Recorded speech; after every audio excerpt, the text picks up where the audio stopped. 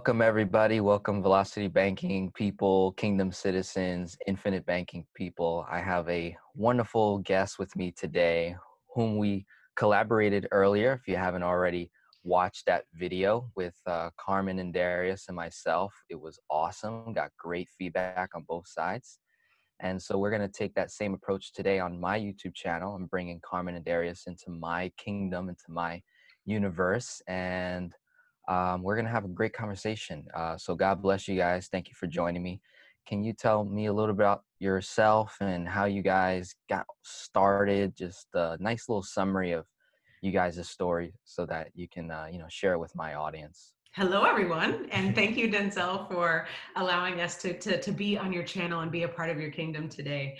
Um, so, my name is Carmen. And I'm Darius. And uh, we are, we're, we're just normal people trying to make some money, make a buck. And so, uh, I would say our financial journey really started where we discovered Dave Ramsey and mm-hmm. was just trying to get our personal finances together and got to a certain point in the baby steps where we said, wait a second, we need to make a little bit more money or do this more aggressively.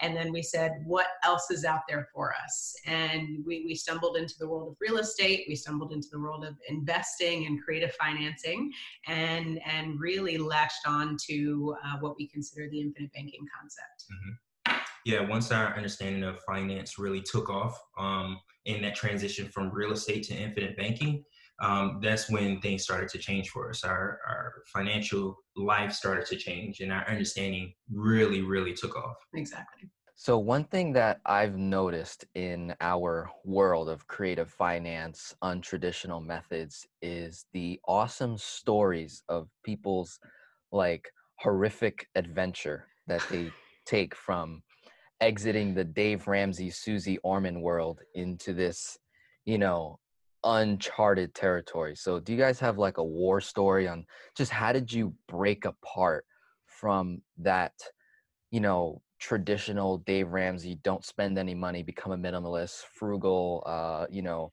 rice and beans diet? Like, what made you actually break from that? What was it? Was there a defining moment?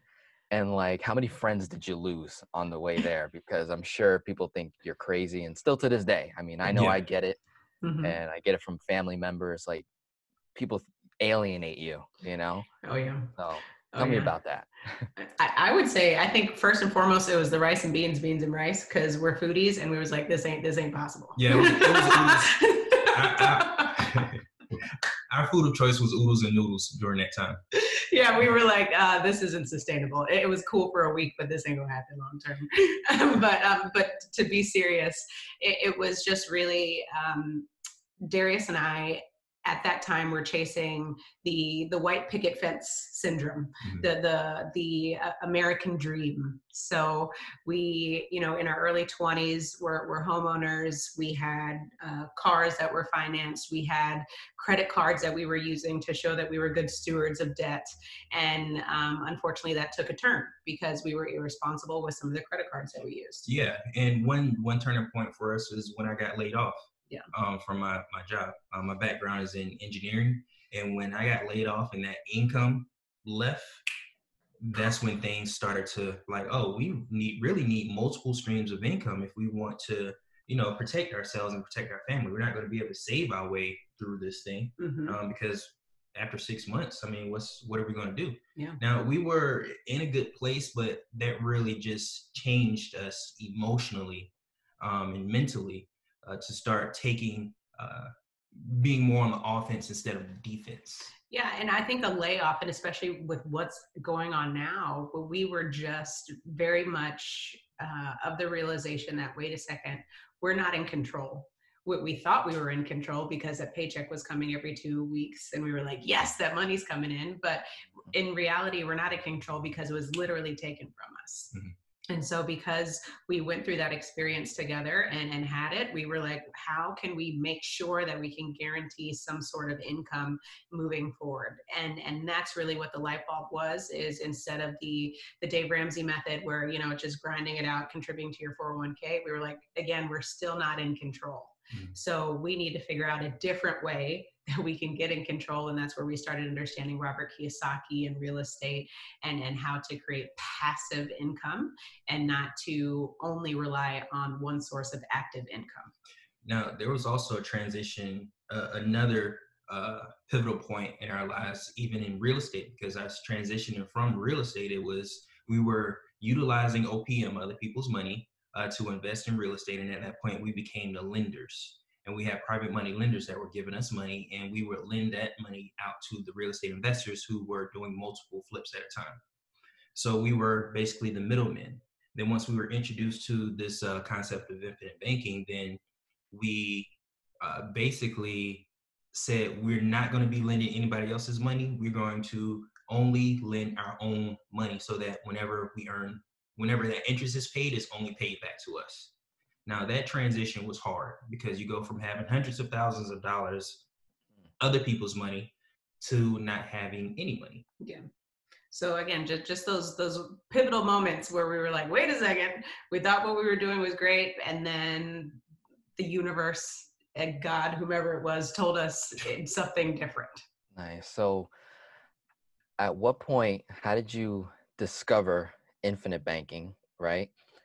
What's your best explanation to like new people that mm-hmm. are, you know, going to be watching this video later on? Like your your best pitch on the infinite banking concept, mm-hmm. and uh, before you answer that, like how did you come across it? Who did you listen to first, and who exposed you to it? Totally. So, um, to, to answer your question first, who exposed us to it? It was uh, an investor. So, so like Darius said, as we were understanding our lending business, uh, we just learned that there were different characteristics of lenders and what we the lenders that we were dealing with were of the scarcity mindset of where's my money? Where's my money? Where's my money? What's going on with it? The flip what's what's up? And um, we we recognized that personality like instantly.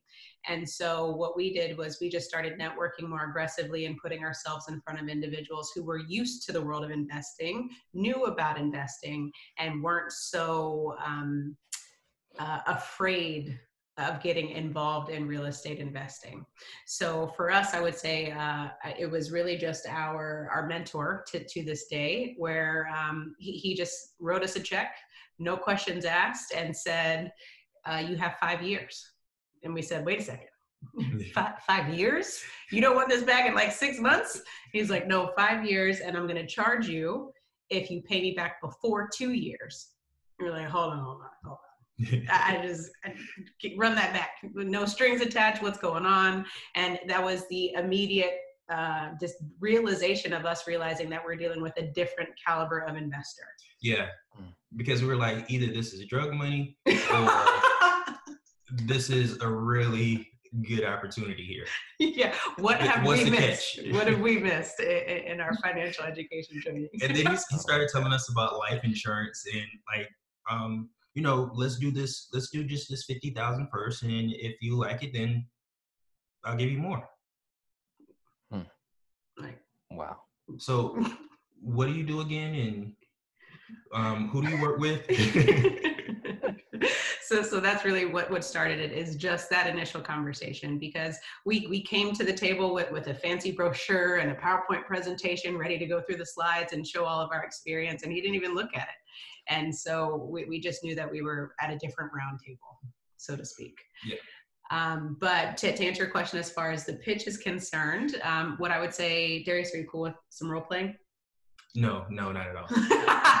no, we'll keep it G rated because we are married. No teasing. Um, okay, so let's talk about um, uh, your savings account. Mm-hmm. Do you keep money in your savings account? Absolutely. And with your savings account right now, do you know how much the bank is paying you to keep your money in the savings account? They're paying me about 0.001%. Oh, that's super generous. Yeah, absolutely. Okay, so you're getting a few pennies on the dollar. So, um, what I would say is, what if I could put your money in a different savings account mm-hmm. that pays you 4% guaranteed for life? Well, my savings account does the same thing. How does it do that? As long as I have the money in there, then they'll pay me my 0.001%. I said 4%. Oh, well, I like 4%. Okay, then I'm just making sure we're on the same page. Mhm. So four percent for for life, compound interest the same way your savings account does. For those of you who may not be familiar with compound interest, you put your money in account, leave it there, and you'll earn interest, compounding, compounding, compounding as your money grows. So with that, the other point of this savings account, there's another feature to it that is called a death benefit. Mhm. Are you familiar with life insurance? Yeah, if I die, then my beautiful wife gets a death benefit. Exactly, to cover your, your family. So the savings account also comes with a death benefit. Okay, Are you okay with that so far? sounds good. Because right now, for just comparing apples to apples, your savings account in the bank is paying you, you said 0.01, 0.01%. no death benefit. Right. But you can put your money in a different environment, savings account that gives you 4% guaranteed and it provides a death benefit. Okay, We're, we're, to, we're together so far, right? together so far, so life mm-hmm. insurance is being utilized as a savings account. Exactly. There we go. So let's take it a step further. In your savings account, have you ever had to use any money in your savings account? Yes, And what happened to that money? I'm no longer earning interest on the amount that I borrowed, that I Mm, used. Exactly. That the compounding effect goes away because you disturb the principal, Right. so to speak. So, and also, what happens with the money? You, you write a check for $5,000, what happens? It's gone in whatever I spent the five thousand dollars on. So now you have to earn all of that money back because it's gone and you Mhm. never see it again. So with this account that I'm talking about is you have access to your funds at any given point and you can pay back any of the money that you use over your entire lifetime. Okay, so you, I'm borrowing the funds, Yes. and I have to pay it back. Yes, you do. You should pay it back because if you pay it back, you continue to earn even more compound interest. Got it. So, the point of this that I'm trying to share with you is all we know these days is that there's an ability to put our money in a savings account at the bank. We don't necessarily know that there's opportunities to put our savings account in other vehicles that might provide us a little bit more leverage, maybe a few more features that allow us to really control our funds and allow us to do whatever it is that we want. Now, with this account, it just happens to be whole life insurance that is a high cash value account. So you can use your money at any given point. You can pay it back at any given point. And even if you use your money or you don't use your money, you're still earning the 4% guaranteed. Okay. So the benefit the benefit of doing infinite banking and utilizing the funds is to uh, not withdraw the money, but to borrow the money and use it for something that we would traditionally use um, credit, uh, uh, high interest credit card for. Absolutely. So instead of paying the bank the interest, high interest, then we want to pay ourselves that high interest instead. Exactly. Yeah, because all we're going to do is use the savings account as your own personal line of credit so that you can collect the interest instead of continuing to pay interest out to the banks. Cool. How, how does that sound to you? Cool. All right. I want in. yes. I like that.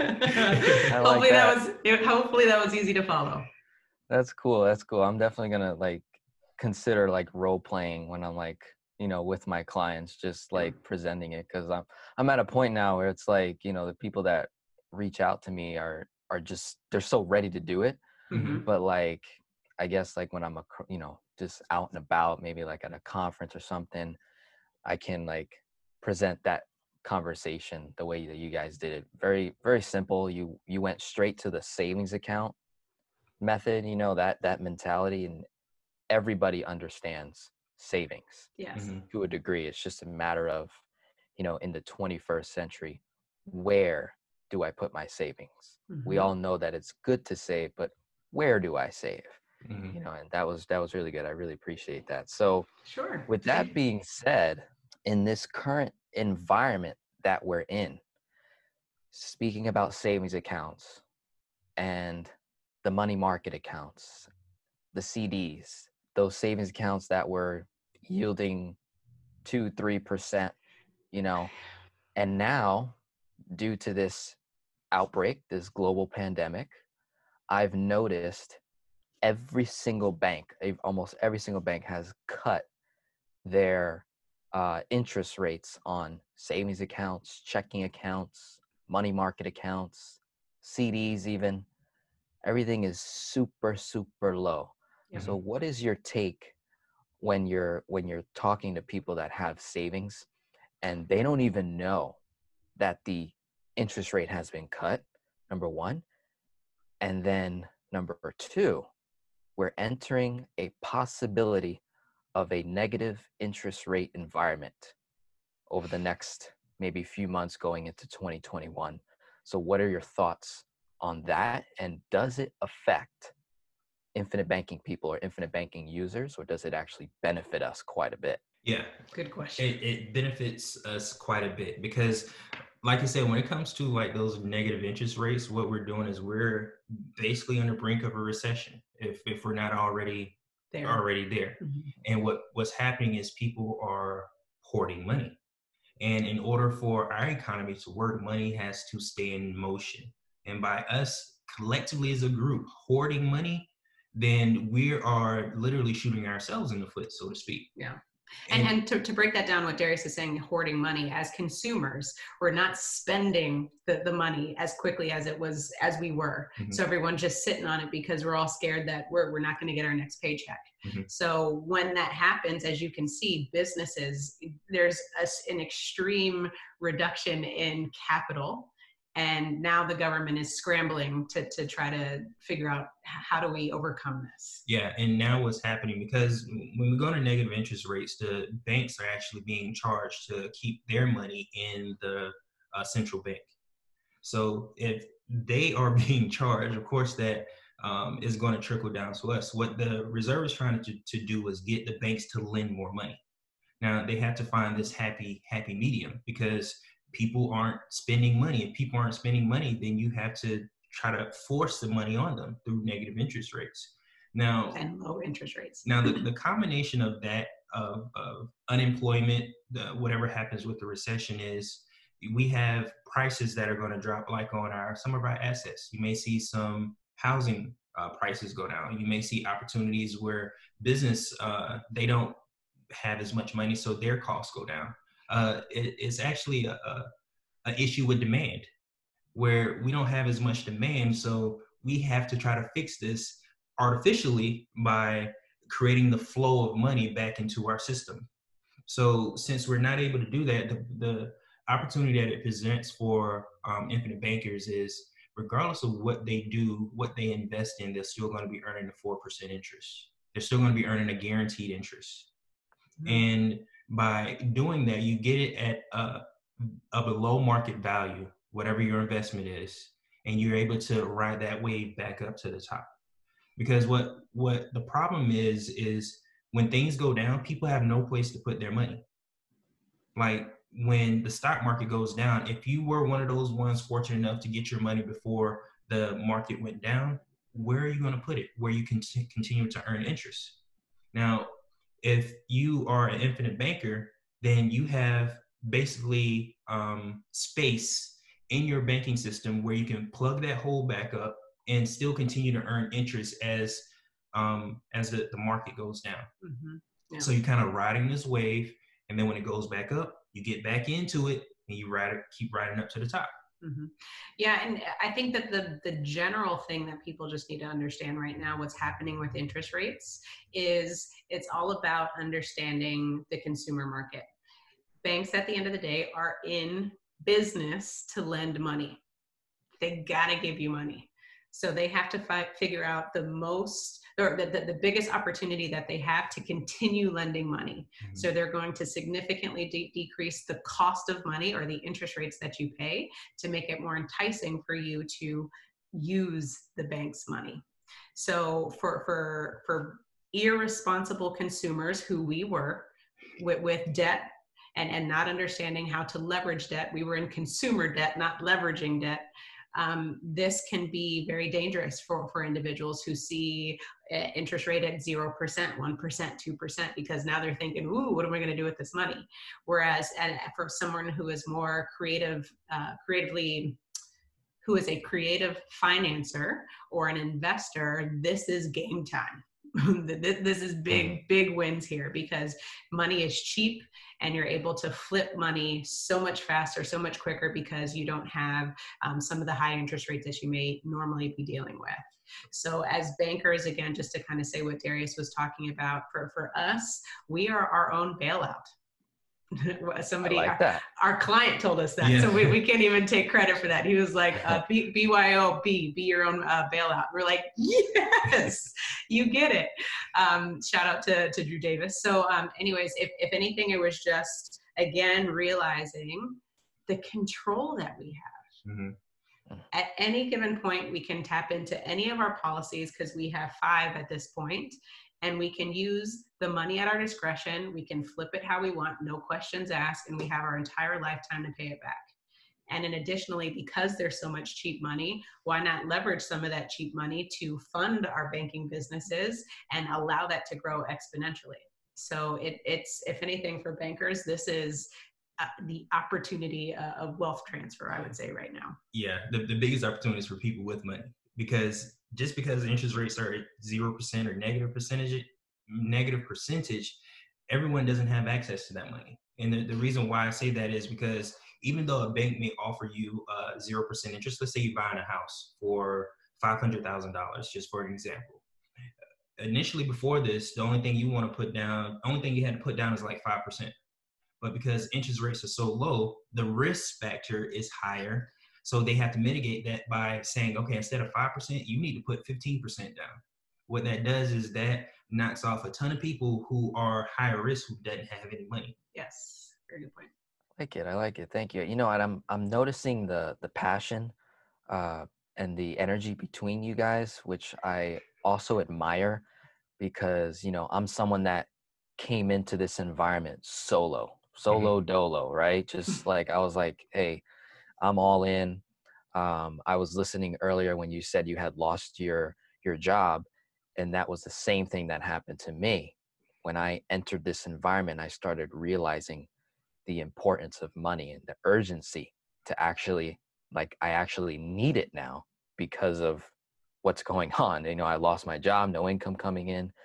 So your passion, your knowledge around infinite banking, the economy, the marketplace, you know, when you're talking to clients, at what point did you guys both say, this is our thing? You know, um, infinite banking, like, because I'm sure, um, you know, Carmen, what were you doing before? And Darius, you said you were an engineer. So, like, at what point did you say, this is what we're going to do, infinite banking? And then what then made you go from becoming like a client, like a user of infinite banking, to then transitioning to teaching it and actually selling it and sharing it with other people? Because that takes a whole nother uh, uh, what should I say, purpose. So what, how, where did that spark from? Absolutely. Yeah. So one of, one of the things that happened for us is once we started using uh, the concept for our real estate business, we were well connected within the real estate industry in uh, Phoenix. So only thing we did is saying, "Hey, this is working for us. It should be able to work for you also." And the more we started telling our peers about it, the more questions we got. Mhm. And as we continue to get questions, we're like, you know, we should probably be agents. And the questions just continued, and the opportunities just kept presenting itself. And we ended up here where we are now, not by choice, but by uh, necessity, I, I would say, um, because if, if somebody asks you a question, uh, one of our mentors told us, uh, somebody asks you a question more than twice, and you should write a book. Mhm. We were constantly getting questions about infinite banking and how to utilize life insurance policies instead of hard money lending, for example. Mhm. Because hard money lending, when it comes to real estate, is super, super expensive. I want to be a hard, I want to be a hard money lender because still want to be. yeah, because that's where that's where the money is. You charge a higher percentage of interest, a higher percentage of interest rate for a short period of time, and investors are eating it up. So that's how that's how we that's how we started lending ourselves because we understood what the what hard money lenders were doing. So we would come in a lot lower than them, um, half half where they are, and we would always have money to lend. Yeah, and, and I would say a part of this journey, um, just to give a little bit more context as well, Darius and I took a hard look at our families and our backgrounds. And we said, what do we want for ourselves? And what we saw isn't what we wanted. No. And, and so, tell me how you really feel.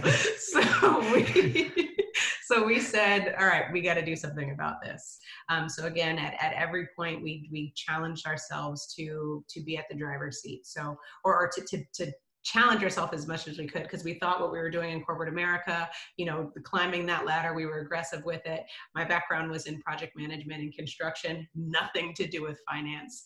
Um, and so the commonality that we always had was we were always focused on money. Mm-hmm. Even if we didn't understand the world of money but once we came together as a unit we realized that we were so strong and so passionate and powerful when we came together about money. Like you know we would be having our, our budget committee meetings um, having uh, strategy sessions about what we're doing with 20 bucks. And i think if anything from that that just sparked the the interest that we had for finance. Mm-hmm. and so then our friends and family just started asking us little questions about how, how are you saving? How are you budgeting? And, and it grew from there. And so if anything along the way we've been pulling and tugging our friends and family with us because we just wanted to share just genuinely we wanted to share because we said if if we can do this we know anybody else can do it. Mm-hmm. and as we stumbled into infinite banking. We realized we were on a whole nother playing field. And we said the world needs to know about this. And, and and that's just really what it is. So we got licensed immediately. It was a no-brainer. And we just hit the streets and started door knocking and like literally trying to speak to everyone that we could about banking. And it wasn't until one of our clients said hey start a youtube channel. You can reach the world. We're like all right let's do it.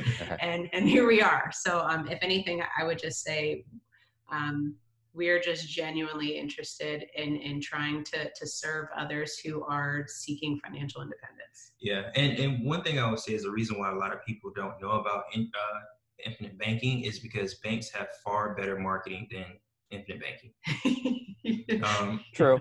we we live in a capitalist society, and even though you have a bad product, if your marketing is good, people will buy it. For sure, totally agree with that all day. So with that being said, with that being said, um, who who was your mentor? Who taught you uh, infinite banking? Did somebody sit you down, or were you like me, where you had not a dollar to spend, and you were just like hoarding, uh, just just mangling, going through any YouTube video you could find and any resource about uh, uh, infinite banking and typing in all the other terms that they use. Become your own banker tax-free banking bank on yourself family banking all this stuff. It was a little bit of both i'd say. So the the mentor was the gentleman who, who lent us the money uh, in the first place for, okay. for one of our real estate deals. So literally you know when we sat down with him and he said i'll give you $50000 uh, amort- at 10% amortized over five years we are like wait a second. Well before we said wait a second we left um, so he doesn't change his mind. And then a few days later once the check cleared we started asking questions. We called him like, okay, let, us talk business. um, so, so anyways, he, um, he was very, very thorough in, his approach and we really oh we, we just love it now because before we just felt like uh, he was withholding information like just tell us what's going on but he, he, he was planting seeds so uh, it was just he he gave us as much as he thought we could handle at the time of just really understanding money because he he I guess he felt our passion for it, but like you said, Denzel. And so um, he he just said when we said you know where does your source of funds come from? Life insurance life insurance. Why, why would you use life insurance? A little more, please.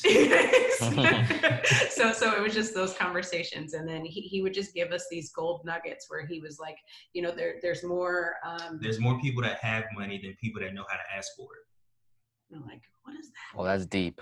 Right. That was just deep. Man, I'm gonna pray on that one. Yeah, right. That just hit you. We're like, what does that mean? And how? Can you say we... that one more time? It just it, it left me too fast.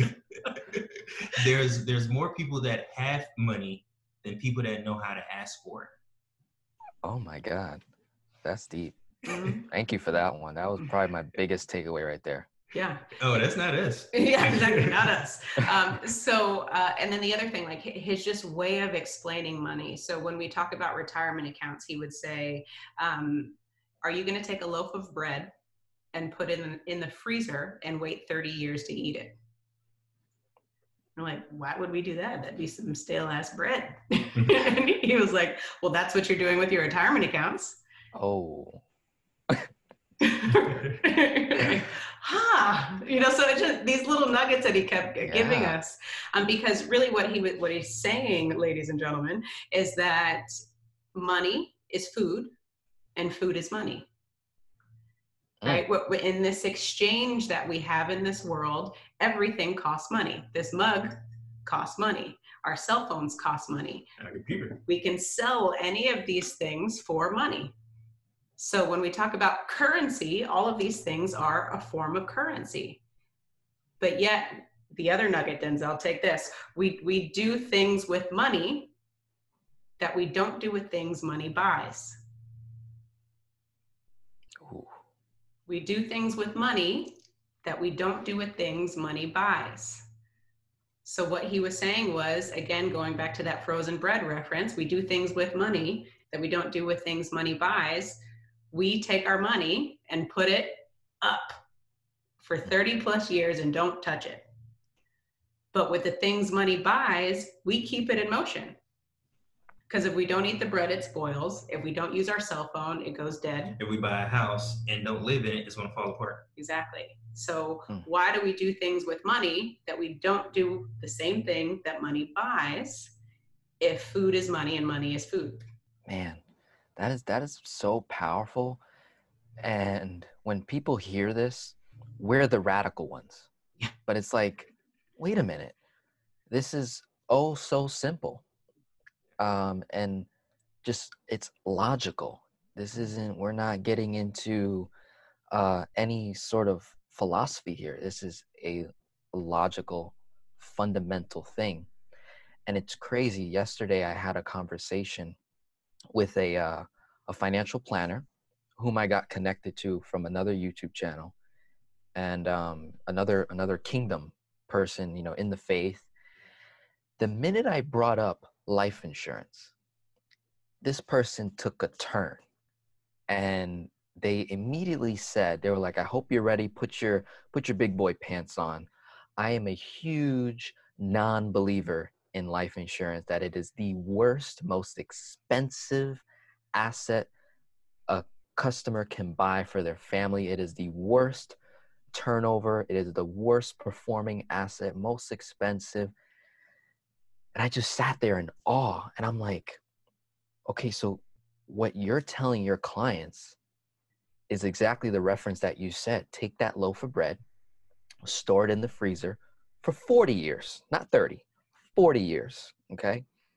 And then eat it little by little.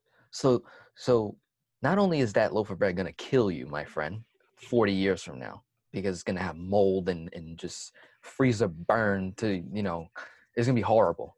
Exactly. But now, not only are you just gonna eat it quickly to, you know, like you know this loaf of bread's gonna kill you, so you would you would eat it quickly if that's all you had to do. If that was, you know, get it over with. Let me go see my Lord. No, you're gonna suffer.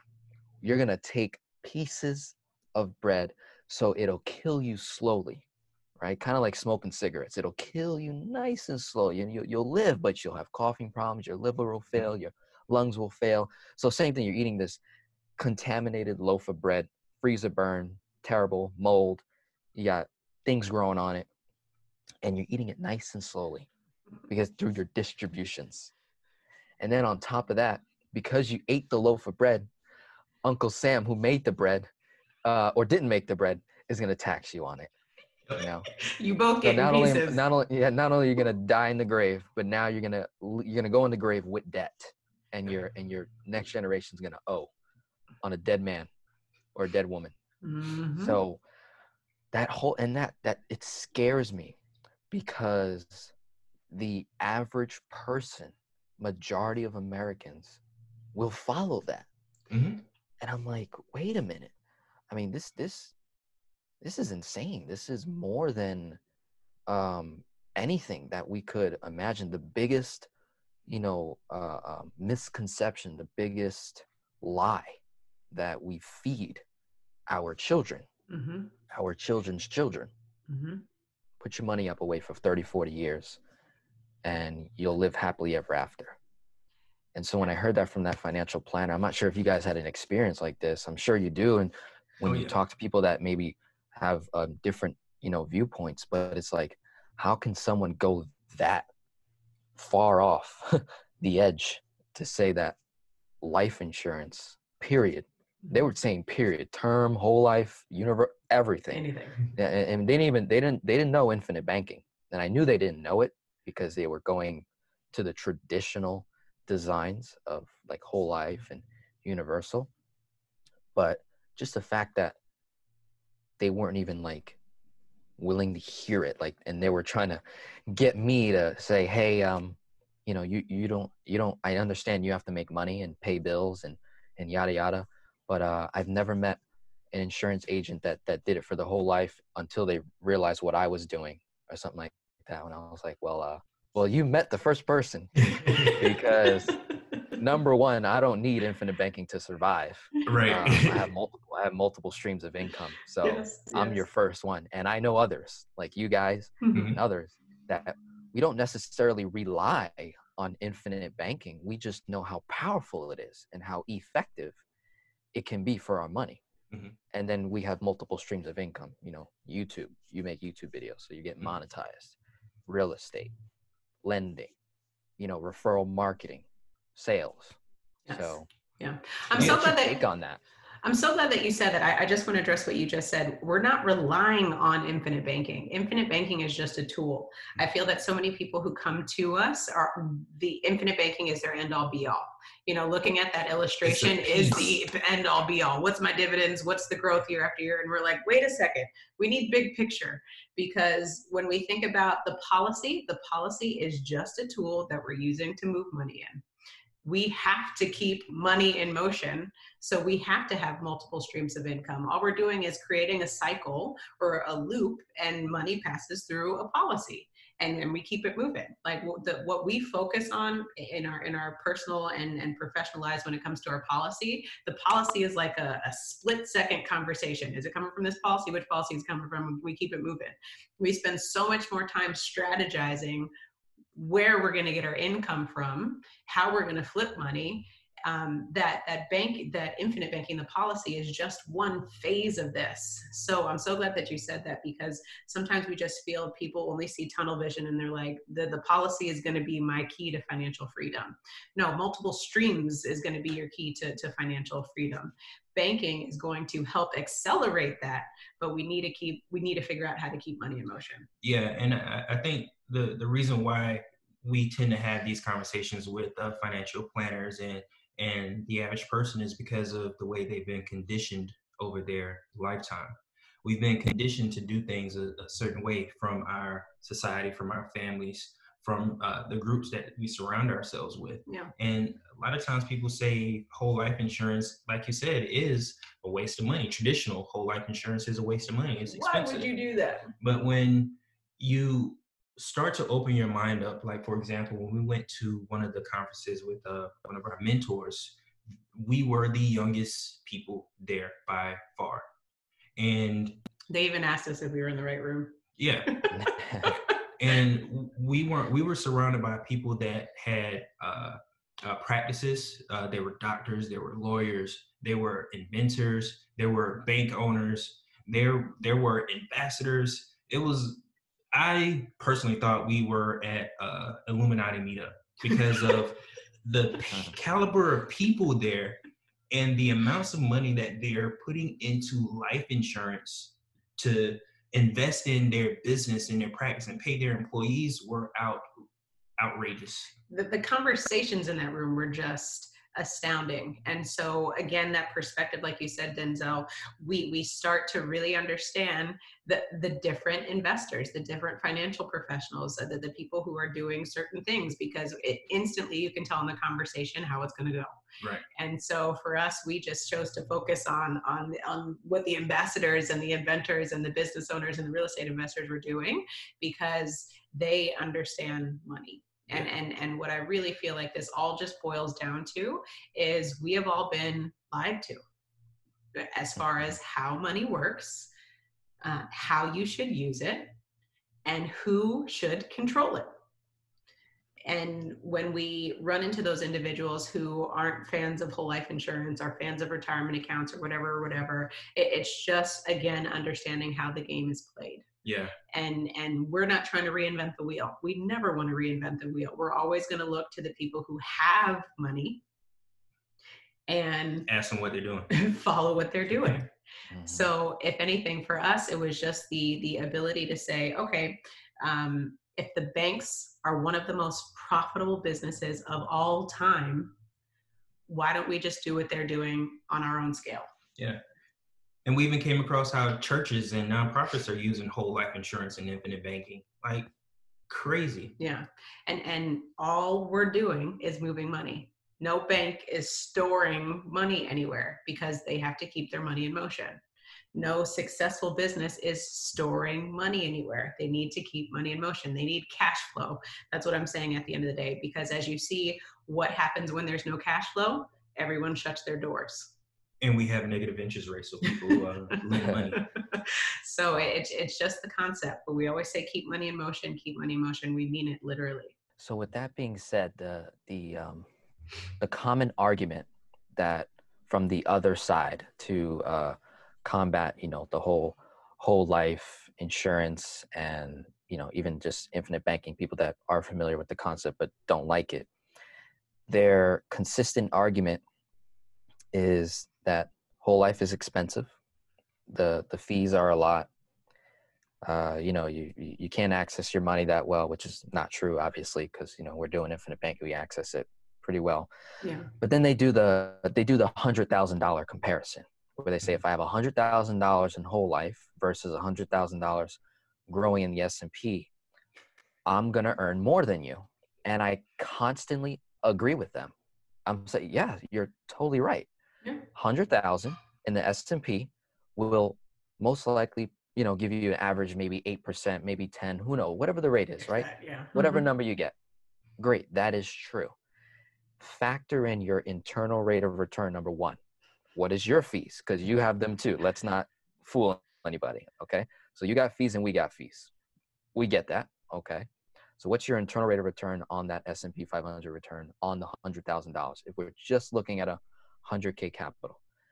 The the next thing I, I you know say to them is, okay, you can't access that money for 40 years. So it's going to grow for 40 years and then you access it. So if you're if we're going to compare and contrast the two vehicles, we have to use all the tools and features available.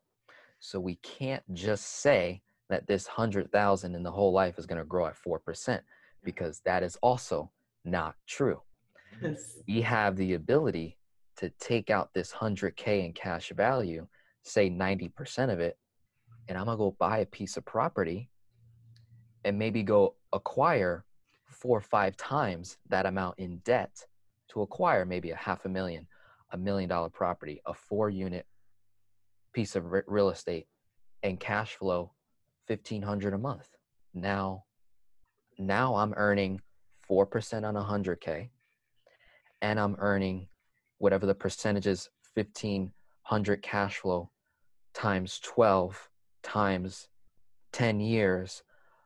Then you factor in depreciation on assets, tax deductions. I have two assets working in two places. So let's really get down to the the nitty gritty of you know apples to apples comparison, right? And so with that being said, when you get those those arguments, how do you respond? Do you say things like that, or do you bring up another story? Like, what are some things that you bring up to combat that argument? A hundred thousand in the S and P growing at X percentage versus a hundred thousand dollars growing in cash value, high cash value Yeah. for infinite banking. we have conversations with people who want to have conversations. We're not trying to convince anybody of infinite banking because we know it works. so you come sometimes we come across people who are just gun ho that it doesn't work. Whatever you believe will be true. Mm. Mm. So Darius, stop. what he said. so your your mindset will make whatever you believe true. Yeah. So there's there's certain people that you can't combat combat Talk you know, to, talk communicate to. So if there's a dialogue that we're having with people, then we'll share stories. Because name some name another product that you can be in multiple places at once and still earn interest. Name a, a Don't worry, I'll wait. name, name another product where you can earn compound interest. Because again, in order for compound interest to work, the money has to stay there. In order Mhm. for your money to work in the S and P, it has to stay there, and the S and P has to perform a certain way for you to get that uh, to get money. You can have an average rate of return of ten and still lose money, or you can, you know, have your money in one of these products like a whole life insurance uh, product Mhm. that's been around before taxes and before the S and P. Yeah. And and uh, denzel that was a beautiful illustration that you just gave us i love it because again what we're talking about is the money game so first and foremost when we're having this conversation with an individual we realize that they don't understand the difference between actual rate of return and the average rate of return. We know that this individual doesn't understand the difference between savings and investing so let me back up when I say that average rate of return versus actual rate of return. The, the market is always going to predict some sexy interest rate, 10, 12%, really what it is. But when it comes down to it, you're probably making more like six to eight on a good day. That's your actual rate of return. Check your statements, people, and then factor in your fees. So really, we're probably neck and neck at this point when we're talking about the earning potential. The next thing that we're talking about is the difference between saving versus versus investing. We're putting money up in a savings vehicle. We're not taking our savings and investing it with the potential to just lose that money. We're keeping our savings account grounded and secure and leveraging that savings account to create cash flow Mhm. that allows us to be in multiple places at once. So just off of the, the brink of understanding the money game, we need to first come to that conversation of making sure that we all have the same understanding of what's going on. Because you're right, time and time again, we get people who fight us tooth and nail and say, "You don't know what you're talking about. I'm going to get much more money in the S&P," and we're like, "That's fine. Go ahead. Go ahead." But you'll have one house and we'll have the whole neighborhood. It's just that simple. As as we're talking, you know, I just the the most expensive thing that we do as the average person or human beings is work a job. That is the most expensive expensive thing that we can do because when we go and work a job, we're uh, W two employees. They take taxes out before we even get paid. So you have a 30, 25, 30% reduction on your income before you even earn it, before you even get it direct deposited in your account. But we say nothing about that. We don't have any issues with that. Now, when you have a business, on the other hand, you have opportunities to uh, mitigate those loss through uh, tax write-offs. Good point. So just simply positioning ourselves to be to have a business on the side of our of our uh, job or guaranteed income, whatever you want to call it. Just by having a business on the on the side will put us in a better financial position even before we get to investing, even before we get to figuring out what type of cash flow we're going to have. If we have an LLC where we're able to mitigate some of those tax um, tax Deductions. deductions, then we put ourselves in a better place. It's all about taxes and interest before we even get to investing. Taxes and Hmm. interest. Okay, I like that. I like that. So I want to I want to close it out here um, with some nuggets that you can uh, give to my community, give to my audience, and and obviously share with your people as well, and all the new people that are gonna eventually find us, whether it be now or five years from now when they watch this video. Yeah. Is this is a historic moment time that we are in 2020 it's may what are you currently um, doing with your infinite banking policy as of or policies as Mm-hmm. of right now if you'd be willing to share like what maybe one or two specific things that you are utilizing your infinite banking policy. We, we understand that you're storing money in there safely and saving it but when you take it out what are you doing with that money and then how are you operating it Mm-hmm. in 2020 in this historic unforeseen time? Because this video right here could go viral. We don't know. 10 years down the road, five years down the road, when they look back, they'll consider us gurus or they'll consider us financial experts if we say the right thing right now in terms of what we're doing with our money and what that return would look like a decade from now. Yeah, go ahead, Denzel. Affirm it. I like it, sir. Um, what aren't we doing? What what I would say for for for us, the biggest thing that's stretching us with our comfort zone right now is is financing policies. What I mean by that is there is an industry out there of banks who will give you capital to buy whole life insurance. What does that mean for to you? It is an asset to the bank. I, don't even think we talked about that.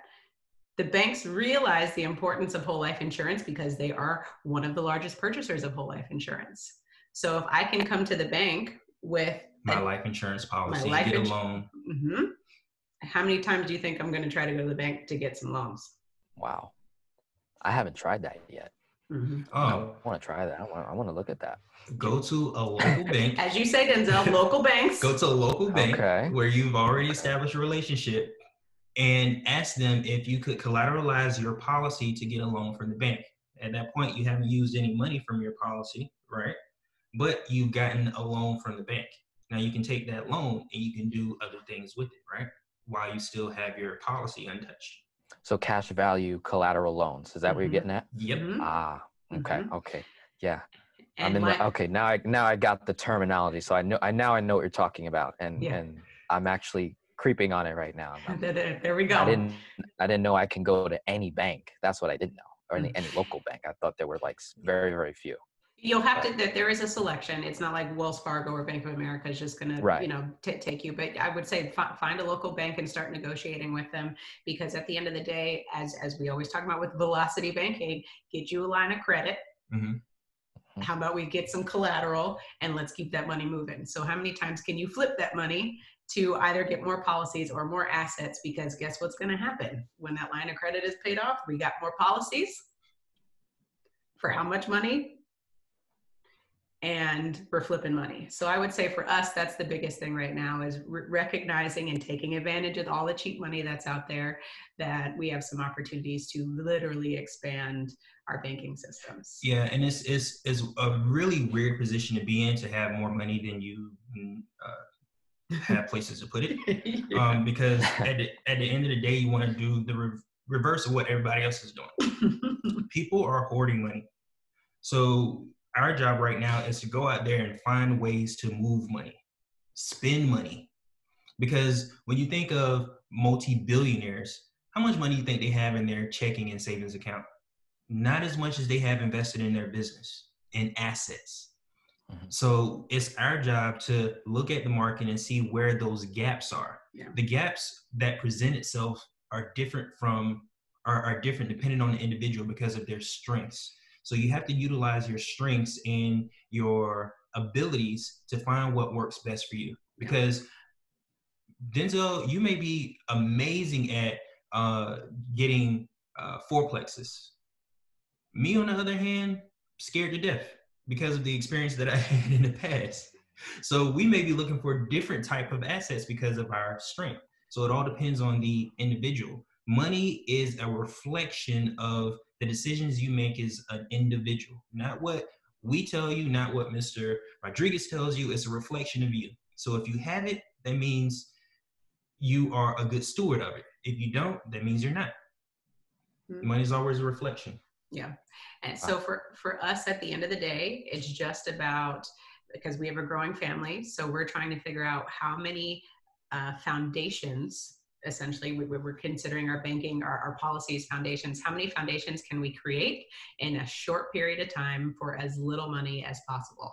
And leveraging opm Mm-hmm. So I would say this is the facet that we're we're we're venturing into because before with, with everything that we've done with banking, we've used it to pay off our, our lifestyle expenses, our business expenses, and now we're just taking it up a notch. So we're going, all right, let's velocity bank this thing, but use oh. it to I like it, right? But but let's use it to buy more policies and and just leverage leverage leverage leverage our potential with the banks yeah one thing that we we do with our business is we pay all of our expenses up for the year. And when you pay your expenses up for the year, especially when it comes to software, they give you huge discounts. Yeah. So yes. we just start paying those monthly payments back to our banking system and recovering those interests is already built in. And writing it off because it's a business expense. Hey, so uh, yes. wonderful, wonderful. multiple wins there to close out, where can we find you? Uh, give us your YouTube channel information. Um, how can we follow you and, and, and, you know, learn from you and so that the two of us, our, our audiences, our clients can get that much closer together because like you said, this is a tight community. Yeah. And my goal over the last few months has been to reach out a hand to those that are in the same industry. We, we speak the same language we're all debt free as mm-hmm. as influencers and leaders and people that are you know uh, in the authority space right? So at this point we're engaging in high level thinking high intellectual conversations that our audiences can get lost in. So the way that i talk i might lose somebody but then when they hit your channel they see two faces a couple in alignment spiritually, financially, physically, mm-hmm. emotionally, and then it might click for them. So I would rather that person not get lost in the sauce from me and be able to see you and say, I got it. You know, whether or not they became my client or not, I'm at this point where I am blessed financially. I don't need every single person yeah. to enroll in my business, become my client. Mm-hmm. I want people to work with who they want to work with mm-hmm. because they know, like, and trust them. Mm-hmm. So tell me, where where can we find you? Well, the first thing I want to say is that we aren't debt free. We just own our debt. I like that. I like that. I'll, I'll agree. correction, correction. But uh, thank you again, Denzel, for this opportunity. You all can find us at, at Wealth Nation. Just find us on YouTube, youtube.com forward slash Wealth Nation.